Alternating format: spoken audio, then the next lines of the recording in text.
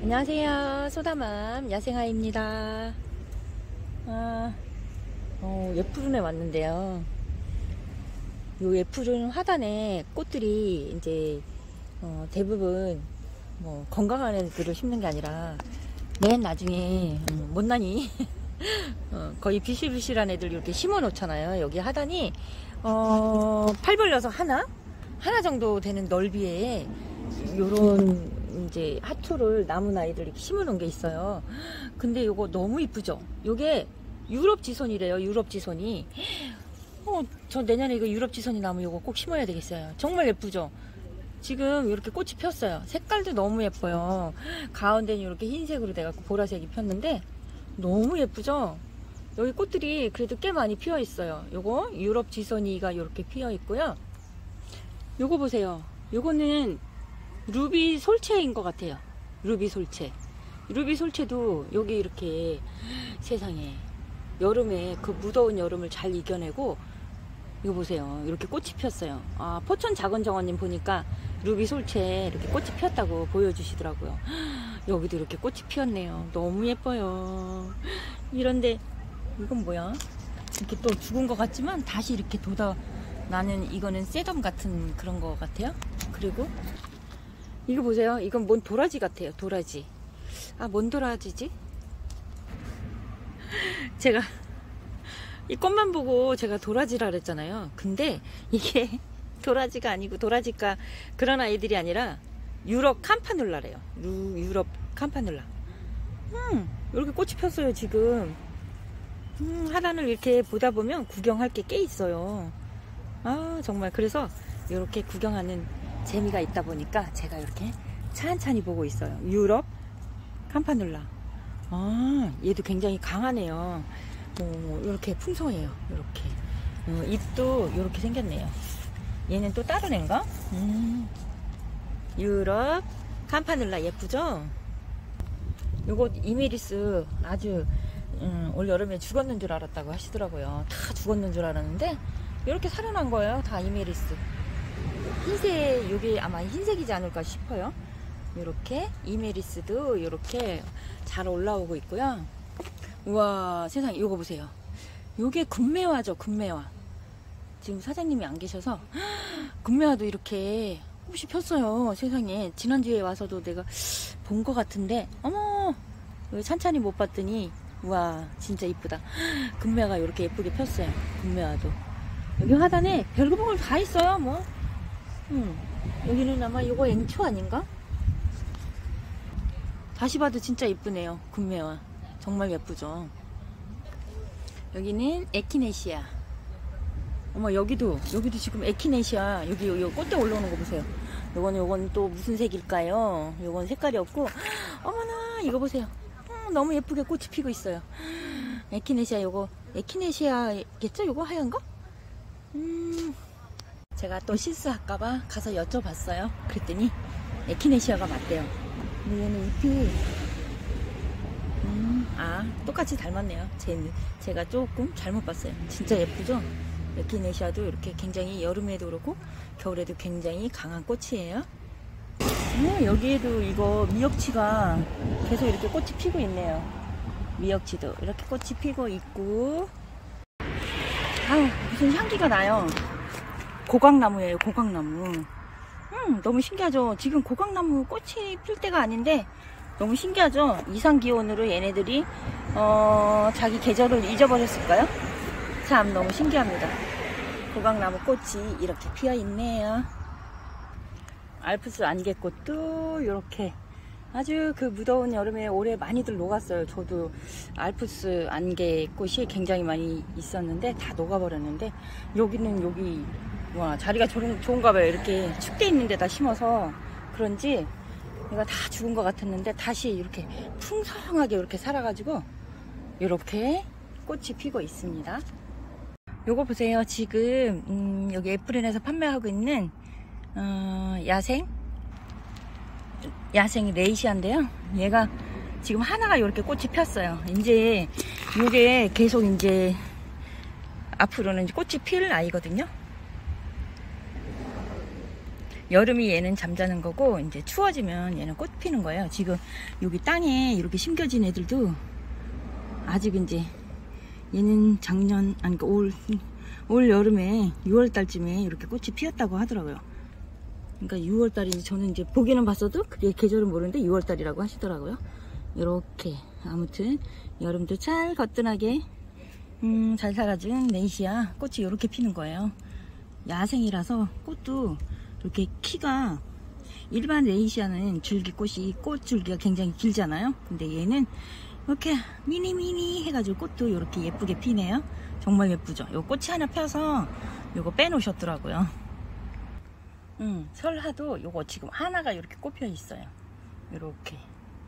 자, 오늘은 또 제가 무엇을 소개해 드릴까요? 음, 끝까지 함께 시청해 주세요.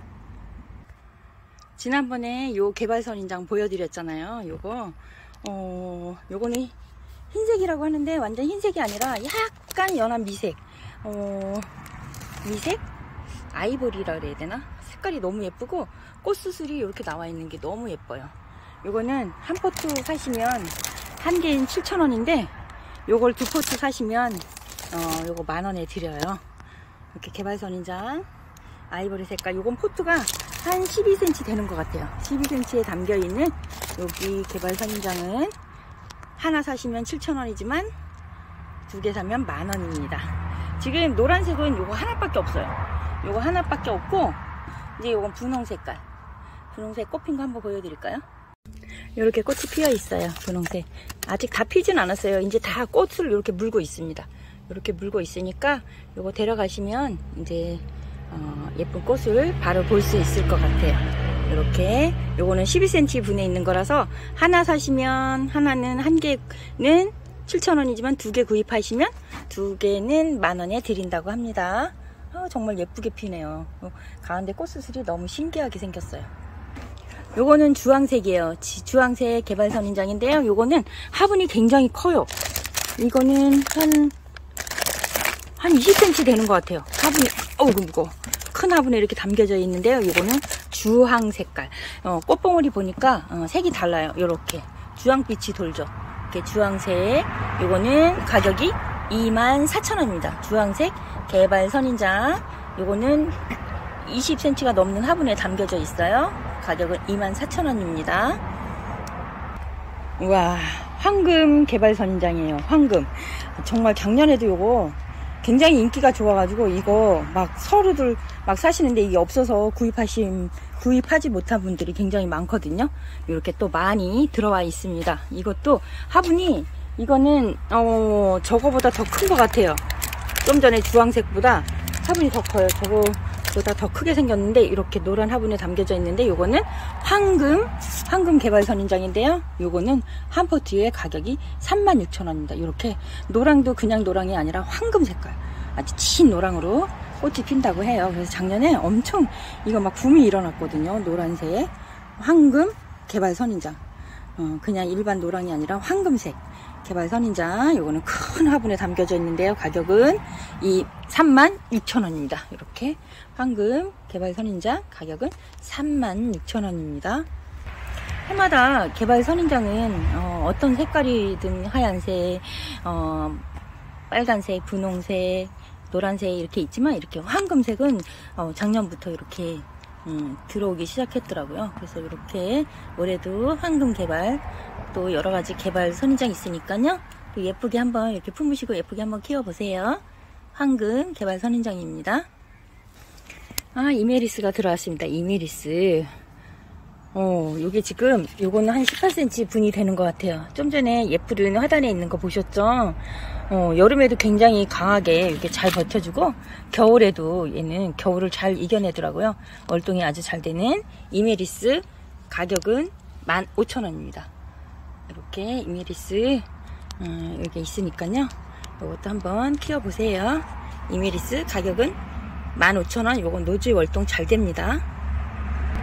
아 이렇게 또 우이엽이 들어왔네요 우이엽 어, 보면 이렇게 꽃대가 올라온 애들도 있어요 이렇게 꽃대가 올라오는 애들도 있고 어, 또 새로 들어왔거든요 그래서 요 한 포트에 요거는 지금 어, 10cm 화분에 이렇게 담겨져 있는데 어, 저도 올해 꽃대가 올라오더라고요 지금 나이가 꽤 됐어요. 얘가 얘는 여름에 진짜 엄청 얘는 아무 피해가 없더라고요. 진짜 오이엽은 어, 노지에서는 안 되지만 실내에서 키우는 식물 진짜 여름에도 강하고 겨울에도 강하고 아무 얘는 벌레도 안 생겨요.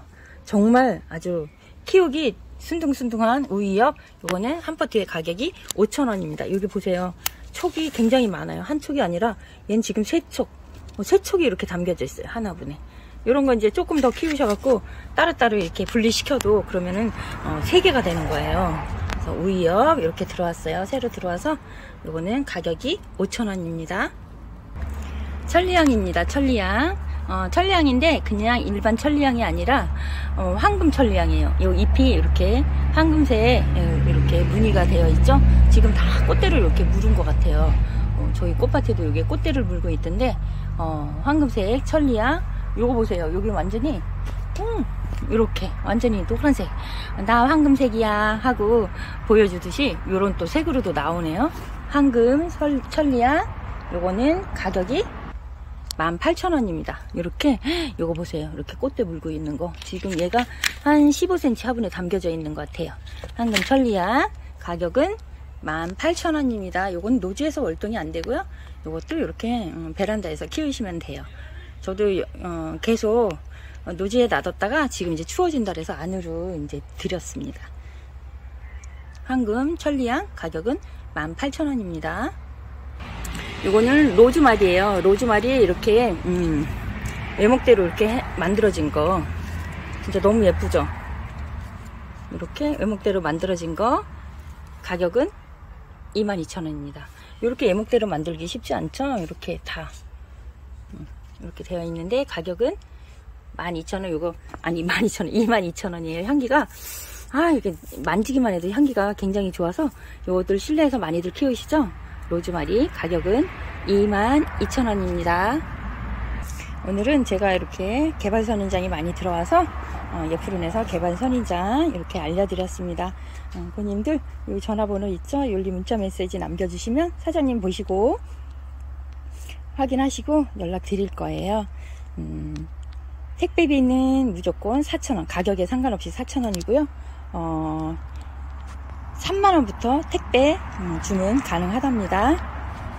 오늘도 고님들 행복한 날 되세요. 감사합니다.